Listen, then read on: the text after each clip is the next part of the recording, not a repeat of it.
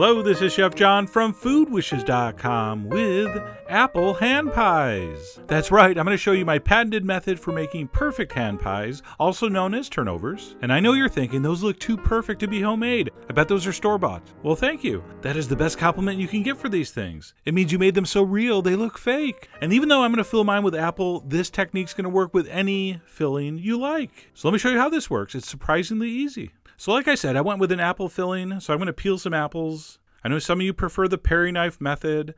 I really think a peeler works better for these. I go around the top like that, and then I make nice, big, wide peels around the side. And for me, that's the easiest way to peel an apple. Unless you're going to do a ton, then you need one of those cool turny things. Okay, so once the apple's peeled, we're going to go ahead and quarter that. And then we're going to take the core out, which is pretty easy. You can do it this way, just hold the apple and pull the paring knife towards your thumb like that, being very careful to stop before it goes into your thumb. And if you're slightly less coordinated, this is a good method. Just put it on its side and make a little 45 degree cut like that, and that works too. So once you take the core out, we're going to take each quarter, cut it into three pieces, and then cut it into chunks. For four hand pies, two large apples should be enough. Mine were kind of smaller. I did three, so I had a little extra filling, but that's fine. At that point, I put a couple tablespoons of butter in a heavy skillet over medium heat until it got a beautiful toasty brown. So just keep an eye on it. And when that foam gets a nice little golden nutty brown color, go ahead and throw in your apples. We're going to give them a little pinch of salt. Give them a little stir in that hot butter. I'm also going to add some white sugar and just a little touch of brown sugar. And then at this point, I made a conscious decision to go with a soft filling. Some people like to make their pies and turnovers with raw apples, just tossing it with the sugar and just relying on the baking time to cook the apple. Here I was going for something much softer, almost like an apple jam or an apple butter. Okay, so I cook mine nice and soft. Those little chunks of apple will kind of swell up and break down, swell up, swell up, and break down. And once they got to that point, I dumped in a nice healthy dose of cinnamon. I'm going to mix that in.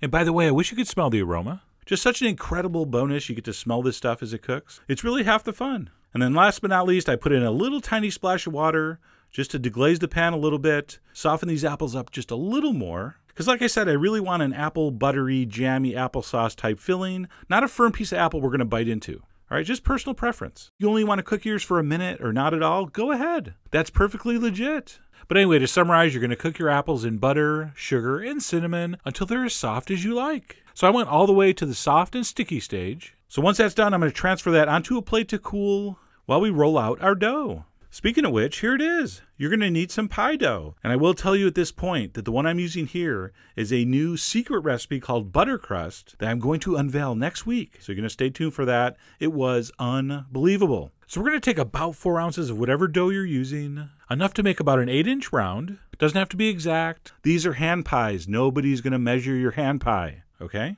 And also don't worry about perfect circles. Perfect circles are annoying. Get it close. It just needs to be circle-ish.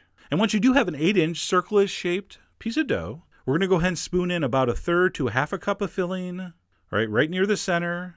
We're going to fold over the dough, but we're going to fold it over about an inch short, just like that. We're going to tap it down around the filling with our fingertips, nice and firmly. That is the first of three levels of crust security. The second's going to be this. I want you to go around and just fold over the overlap, just like that. All right, nice and tight all the way around. And once that's been folded over and pressed down, we're going to go to the third phase, which is the crimping. And I know they say crimping ain't easy, but that's so not true. Crimping is easy. All right, take the thumb and forefinger of one hand, press it in, and push in between with the forefinger of your other hand. And you will have a perfect, so good it looks fake, crimped crust. So you're pushing with two fingers and you're pressing in between with the other. Your thumb is moving into the indentation that your forefinger just made. And it really is that easy. So once you're folded and fully crimped, we're going to transfer these onto a lined baking sheet, and then we're ready for the egg wash. Some beaten egg with a little bit of milk.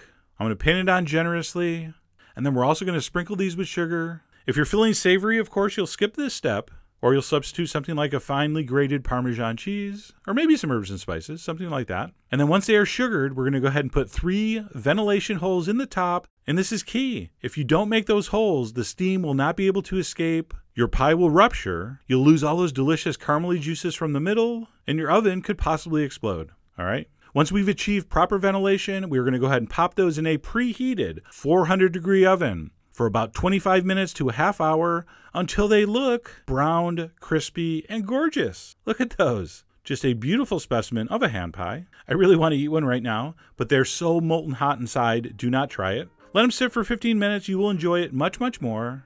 And after that, though, all bets are off. I bit into that thing and I was so happy. Like I said, I went with a very soft, almost like an apple jam or apple butter filling. But again, if you want the chunks of apple like a traditional apple pie filling, go for it. And you can see here the extreme flakiness of that dough. That is the new butter crust pie dough I'm going to show you next week. But like I said, no matter what dough you use, no matter what fillings you use, this technique should work perfectly. All right? So I really hope you give this a try. Head over to foodwishes.com for all the ingredient amounts and more info as usual. And as always, enjoy.